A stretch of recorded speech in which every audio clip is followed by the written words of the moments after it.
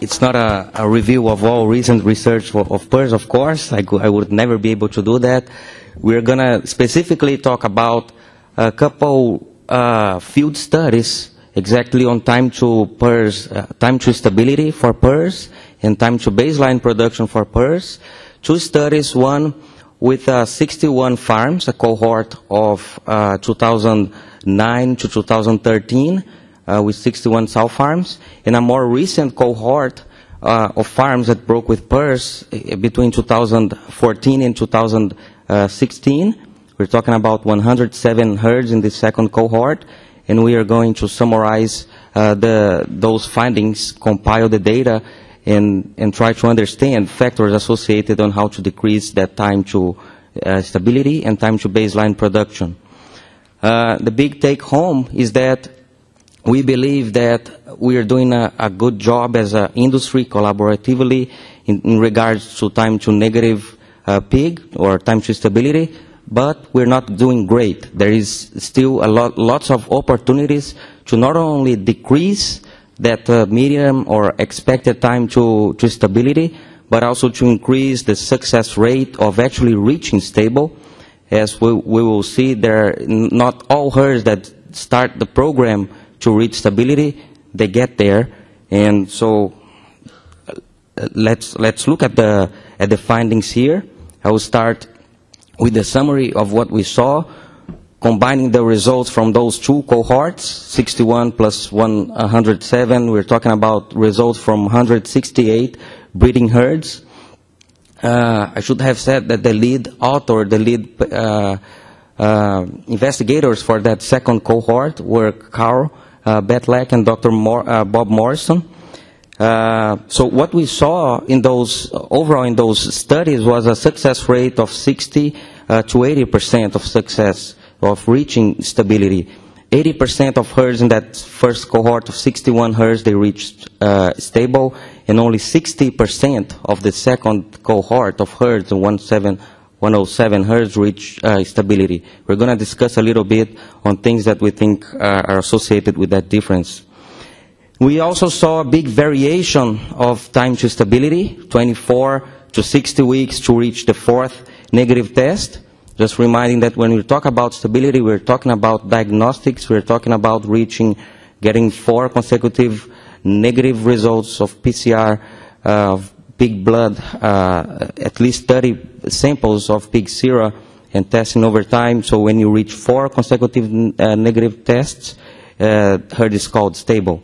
There are two ways to do that. At that first study, we, we defined stability as the, the fir very first test, followed by three negative tests we called stable. In the second study, the authors prefer to, to uh, call the fourth uh, negative test. So, so just to summarize, 24 weeks to 60 weeks was the time to reach the fourth negative test. Or if you want to consider the first negative test, just go back 12 weeks. So we're talking about some 12 uh, uh, weeks to, to about a year in, in the very in the uh, range of uh, stability. So the TTS, the time to stability, and the probability to reach stable, uh, they were better in the 2009 2000, or to 2013 cohort, as we said, compared to the more, more recent cohort. And the main differences, as we're going to talk about more in detail during the presentation, between those two cohorts was that the first cohort, uh, the six, with 61 herds, all of them did herd closure. They did whole herd exposure with either uh, uh, with a live uh, virus, either serum inoculation or use of vaccine. And of course, the PRRS viruses were different uh, between those two uh, cohorts. So, herd closure, whole herd exposure, and, and PRRS itself was uh, th- those factors, as we're going to talk more about the presentation, were the, the differences between the cohorts. Another study that we're going to uh, show a slide here about is TTS at farrowing, more specifically, specifically time to test negative uh, at, at the farrowing, the first 24 hours, testing pigs uh, uh, within 24 hours of uh, birth. And the best results were at uh, eight weeks after uh, PRRS detection, and the median time there was about 20 uh, weeks. So uh, what that tell, uh, tells us is, is that uh, pigs, uh, they, reached, uh, they reach stability at birth first, and then, of course, there is some tran birth transmission going on in the farrowing house, and it takes uh, more time to reach stability when you test pigs at weaning. So, so there is, we understand that there is a lot of opportunity to decrease the overall time to uh, stability at weaning by influencing that uh, uh, circulation of PRRS virus during the, the farrowing uh, phase at the farrowing uh, room. And then we're going to talk about the wind down project, which we understand when we, we believe we're very optimistic uh, that that can uh, help decreasing that pressure of infection. We're going to talk more about that. So here another slide with the variation with the distribution of the time to stability with those two studies combined. As we said before, it, it went to a minimum of 20, 24 weeks and it went up to 60 weeks to test, um, to, to reach the fourth uh, consecutive negative test. Big variation. And good news here is that uh, early TTS is possible. We had at least some 10 herds that had uh, started testing negative as soon as 12 weeks after um, PRRS uh, detection and intervention, and were uh, obtained the fourth negative test by 24 to, to 30 weeks after detection. So what we are going to discuss here about the rest of the presentation is those factors that we believe that are associated with those early uh, TTS herds. So it's a big, uh, the next topics here going forward, we're going to quickly uh, review the 2013 study, then talk about the more recent one, compare uh, those studies, talk about the TTS at farrowing, uh, talk a little bit about the wind down project, and go back to the summary slides. So the first study with 61 farms, what, what was that about? Just uh, reminding here uh, that those herds, what they had in common was that they were acutely infected breeding herds with PRRS virus that used uh, herd closure associated with uh, whole herd exposure, or also called load close expose uh, method with, uh, either a resident virus, also called serum inoculation or live, vi live virus inoculation, or with uh, MLV vaccine. So herds broke with PRRS virus, did a herd closure using resident virus or MLV vaccine. And those, all those herds had the intention to start producing negative pigs at weaning. In other words, intention to achieve uh, stability. Some herds were infected with uh, 144 kind of, of, virus, some with other kinds of virus. There was also a variation in the prior history of PRRS detection, and we were talking about 61 farm belonging to 16 different production uh, systems or vet clinics. And what we saw? We saw that for MLV herds, the herds that did herd closure and used uh, vaccine as part of the exposure program, they reached uh, baseline production defined as number of weeks that it took to produce uh, the, same, the, the, the, volume of weaned pigs at weaning that the herd had prior to the break. Uh, so the TT, they, they reached uh, base, they recovered productivity levels significantly before they, they started producing negative pigs at weaning.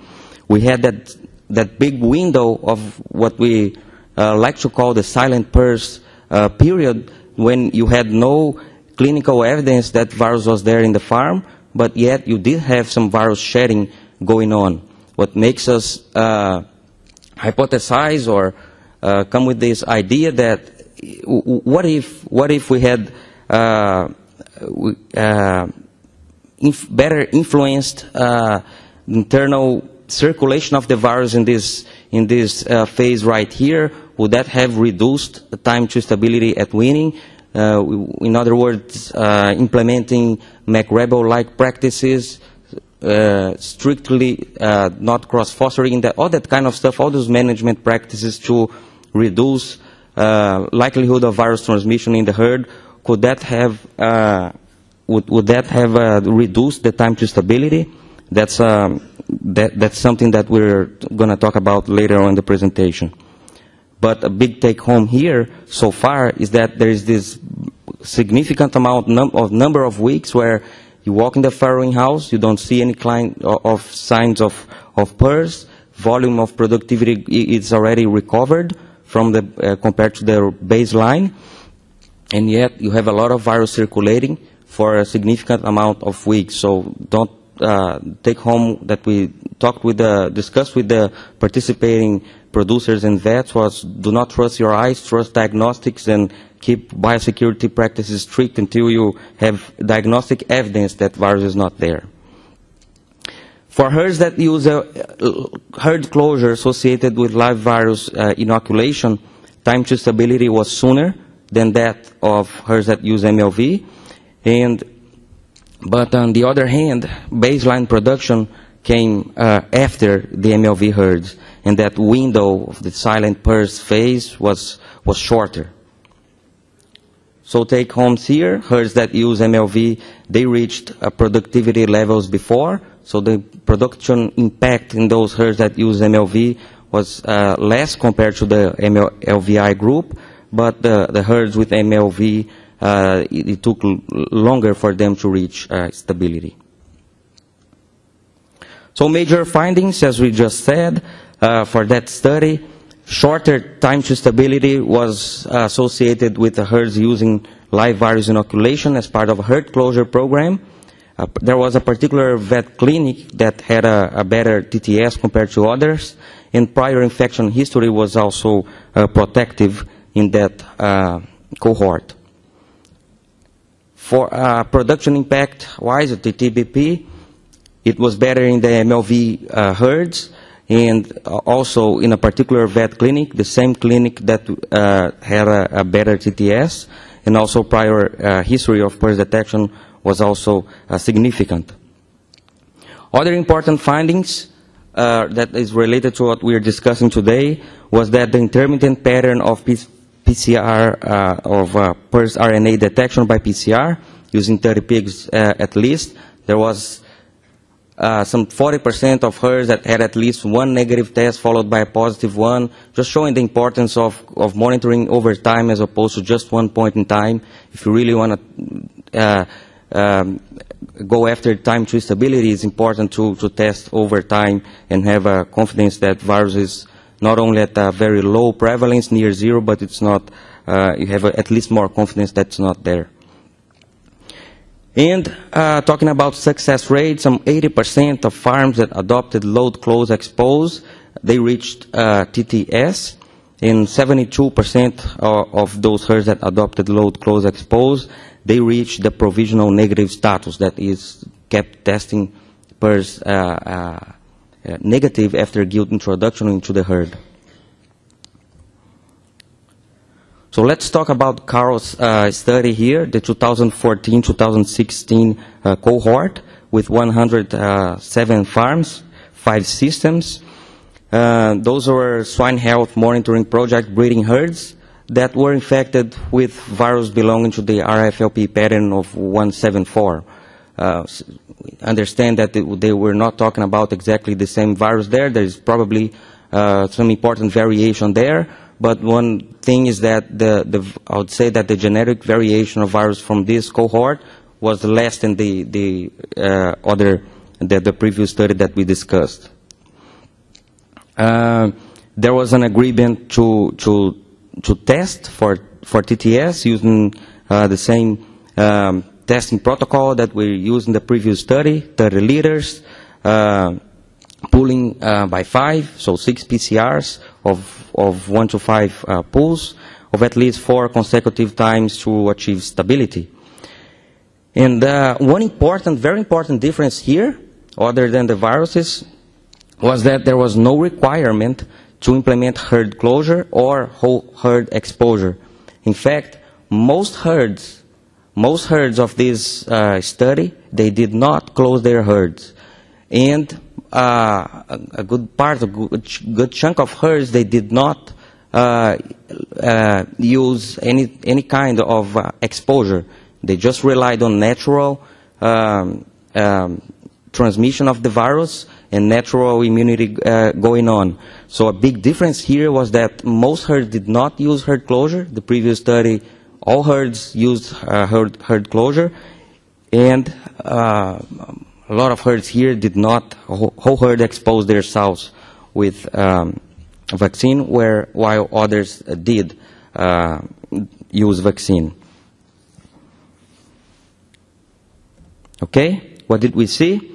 For the 2016 study, the median TTS compared uh, using here the time to reach the fourth neg negative test. Uh, you see here a Kaplan-Meier plot, just, just reminding here what we're talking about. It's, uh, we see here that the probability of reaching TTS over time, okay? And as so as we started testing the, the gilts, uh, the, the, the herds, at uh, about uh, 12 weeks after after PRRS detection, and as time went by, as you see lines going up, that means that they were reaching uh, stability. So what we see here, what the, the plot shows us is that the, you had different patterns, different, each, each line here, each color is a system, and you saw some systems that, that consistently reached uh, stability sooner than other systems. And so, I'm not talking about all, all, all of giving numbers here for all the five systems. Let's focus here on what's interesting. What's interesting, what I want to show is that there was a particular system with a median time of 37 weeks, while the uh, other system, other system that took longer to achieve stability, it took some 44 weeks, and that was uh, different statistically. So different system effect. And so that's an important point to discuss and better understand uh, what are they doing and, and how to replicate that. We're going to talk about that later.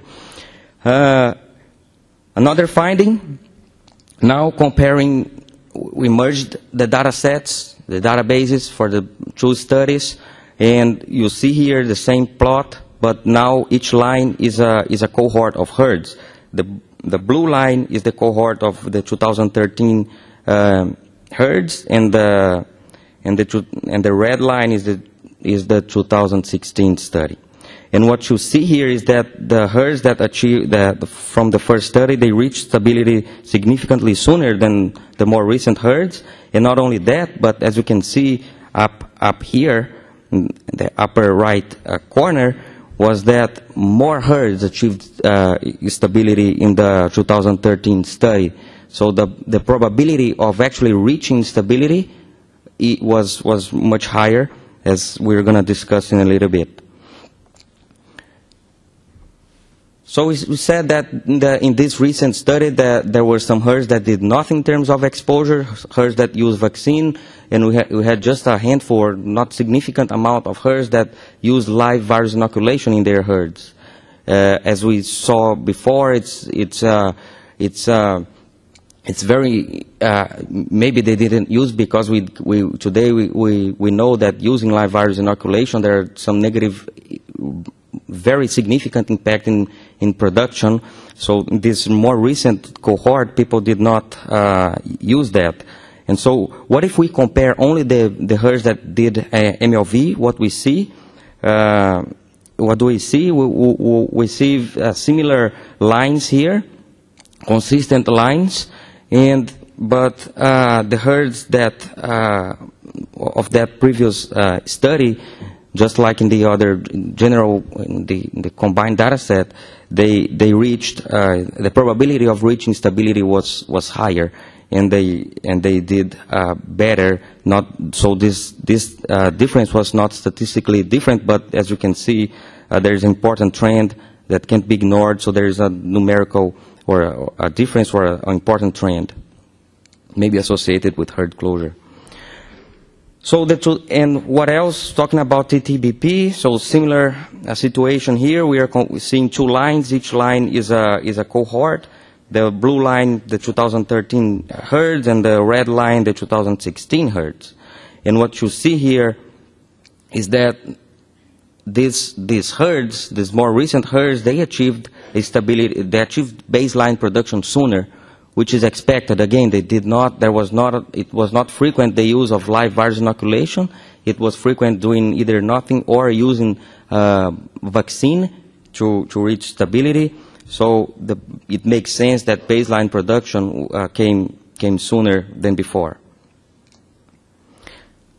And I believe that's the last Kaplan-Meier plot here, uh, comparing closure, yes or no, for herds that, that did uh, closure until time of gilt uh, introduction. And as we described, as we said, herds that did uh, close their herds, they had, they achieved stability sooner than those that didn't. So summarizing all those Kaplan-Meier plots in a more kind of uh, uh, in, a, in a different way here, this, this table. Uh, the first line here is the, the median time to achieve stability, or the TTS 50.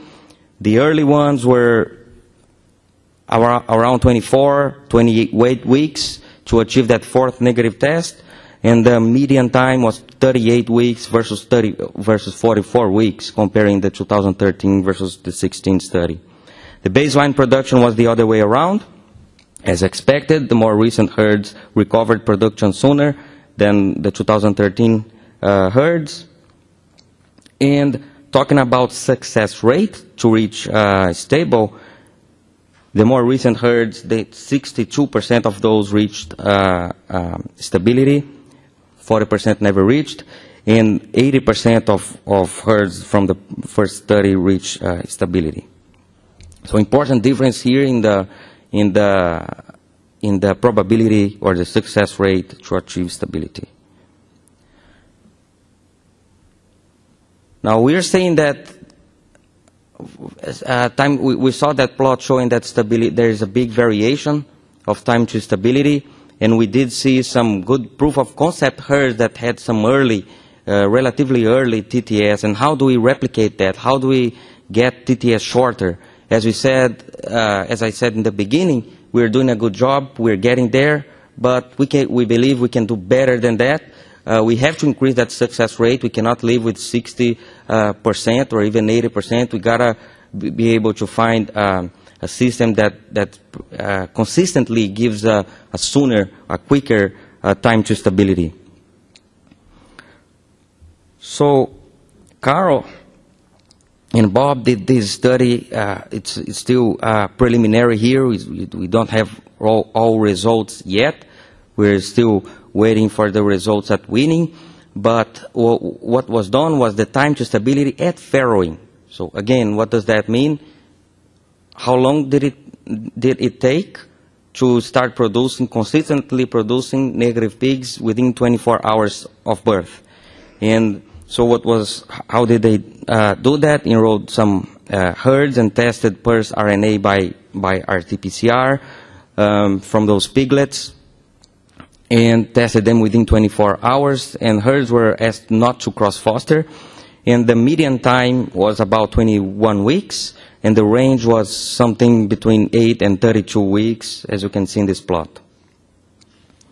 So again, as early as 8 weeks after uh, detection, there was uh, already a number of, of herds uh, producing uh, between 8 and 10 and here 12. You see a lot of dots here at 0%, show, showing that you had, th there was a lot of herds that were already producing PRRS negative pigs at, at farrowing.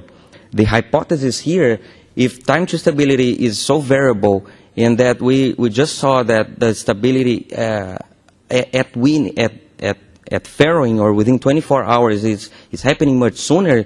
In some situations, 12 weeks to 16 weeks sooner. That's, that, that's a lot of time. Why don't we go to the farrowing house? Is the, is the answer there? would uh, decrease the virus circulation? So again, the hypothesis is that what if we influence that, that PRRS transmission in the farrowing house and reduce the chance of virus to, to circulate and to, to, to replicate and to be transmitted in the farrowing house? Can we decrease the time to stability at weaning? That's the, the, the ultimate uh, uh, uh, uh, measure anyways. It's at weaning that we have to look at. So that's exactly what uh, Dr. Uh, Carles Vilalta and Dr. Bob Morrison did with a model. They modeled the transmission of PRRS and predicted with a, with a modeling uh, approach, mathematical approach, that the wind down um, approach would reduce, significantly reduce time to stability. And what's the wind down? That's a very similar approach to, to what we are already doing with, uh, to eliminate PED in a, in a lot of herds. That means uh, weaning piglets uh, from uh, seven days old uh, to, to, up to 21 or 24 or wh whatever age the, herd, uh, what, whatever it's the regular weaning age for the, for the herd. So weaning down or weaning pigs uh, at seven days of age and, and older, and do that for, for a week, for 10 days, uh, that would decrease, uh, that would significantly decrease the probability of virus circulation and transmission in the herd, and with that, that would decrease, significantly reduce uh, time to uh, stability at weaning. And for that study, uh, and would like to inv invite uh, you all, if you have breeding herds, to, to enroll. There is a, a, a BI uh, grant to help uh, subsidize diagnostic test costs, and the goal would be to enroll 30 wind down herds compared to their and, compare their time to stability with uh, matched uh, herds with a not non-wind down. So if you're interested, go ahead and contact us, contact Bob, and, and let's discuss that. So going back to the summary, what we have discussed, data from 168 breeding herds, we saw that there's a big variation of TTS. We already knew that. I would like to highlight here that early TTS was possible, multiple herds, not only one, so proof of concept is there. We should not be happy what we, we're doing today. We have to look at uh, ways to reduce not only the TTS, time to stability, but also increase that success rate. Is the answer in, in uh, win, the winning down? We don't know. There is only one way to find out, and we're, but we are very optimistic on that and wanted to, to, to test that. So early TTS is possible. Let's, let's, uh, let's keep exploring that. And TTS uh, and probability to reach stability were, were better in that first cohort compared to the more recent one. And what, what was the what was the main the main difference between the, those cohorts was that again that first uh, set of herds did uh, uh implement herd closure associated with whole herd exposure, and of course virus is was different, right? Uh, uh, there was a difference in the virus. Uh, which which of those three were responsible for most of the, those those 40% failure? We we don't know. Maybe the, all all of those uh, combined. So it's a it's a, it's a study looking at those together, all together, would say that I, uh, doing herd closure and whole herd um, exposure, it was at least not uh, uh, a bad idea. Those herds did uh, a better job. So further studies are needed with uh, uh, uh, with current practices today, with the virus that we are circulating today, and replicate that um, study of herd closure, maybe do comparing herd closure with no herd closure. And, and so, and the final line here is the wind down. Uh, is that the answer, the wind down and slash uh, internal biosecurity practices to decrease TTS, we do believe that there, there's a lot of answers in the biomanagement or the internal biosecurity or practices at the farrowing house that might be, uh, we still need to explore that and associate that with our outcomes, uh, including not only TTS, but the TBP. But to keep it simple, uh, wanted to focus this, this talk on TTS. They, they kind of go uh, uh, uh, together.